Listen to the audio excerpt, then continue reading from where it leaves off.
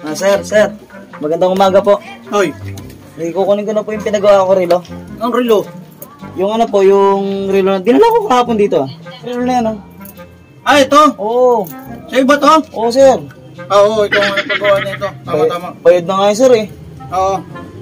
Oo. Oo, kunin mo na. Oo, okay na to, sir. Oo, okay na yan. Ano ba nagisira? Cambio. Ah, cambio. Cambio. Sige, salamat, sir ah. Oo. Galing pala mo ah.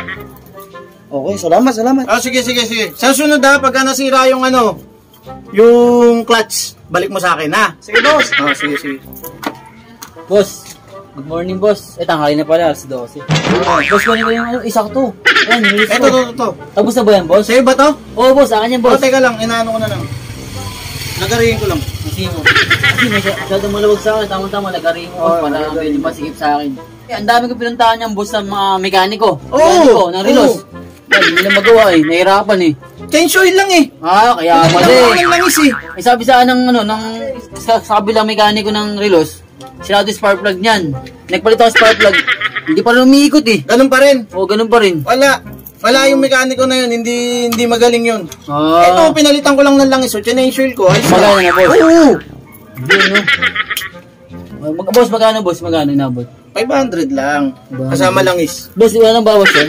Ano, ano? Ikaw na nga nagsabi, dinala mo sa iba, hindi nagawa eh. Oh, nagpalit ka pa spark plug. 500. Hmm. Ayos na yan ha. Ayos, sakto, gumagana na. Basta ang change oil kada buwan. Ah, kasi O kaya kahit gawin mo kada dalawang buwan. Ah, sige boss, Huwag salamat mo boss. ano yun, makiki- malalaman mo naman, tandaan mo yung pecha. May pecha naman na nakalagay boss, nakikita dyan. naman. Yan. Thank you boss, O, salamat ha. boss. Kung ah. ano yung pecha ngayon, tandaan mo sa susunod na month. dalawang buwan. Ah, okay, sige boss.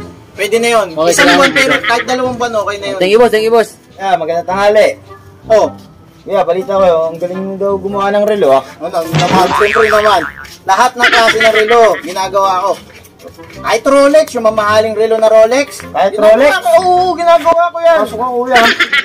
Oo naman, yung sa labas eh. Oo, ano pala, tarilo kaya mayusin. Lahat ng relo kaya ko ayusin yan. Hindi at patatagalin to kuya. Oo! Ito kasi yung relo ko, pabalik na doon ikot. Di ba kunyari, alas 20 na. Babalik sa alas 8, alas 7, alas 6. Pag ano nang ikot, nalilito na ako eh. Yung relong gina...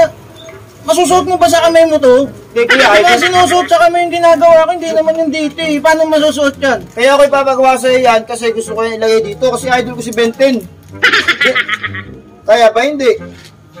Idol mo eh, magkaiba tayo ng idol. Idol mo si Benten, idol ko si Bentong. Ang Bentong. Hindi nga pe pwede yan, hindi natin malalagay yan. Yung number pa lang, ang laki-laki na. oh. Paano natin lalagay yan? Napakalakas ng loob mong magsabing magaling kang gumawa ng kahit anong klaseng relo. Eh, ito relo hindi mo magawa. Hindi naman ganyan relo ginagawa ko eh. Ano tawag dito? Ano, wall clock. Wall clock yan, hindi naman lang yun. Orasan pa rin to, di ba? Orasan yan, pero wall clock yan, hindi yan yung relo na nilalagay sa kamay. Mangyayari na nito, hard clock. Hindi, pwede yan, dito yan. paliwanag mo, sige na. Dami mo epos, sabi magaling ka pa, hindi naman pala.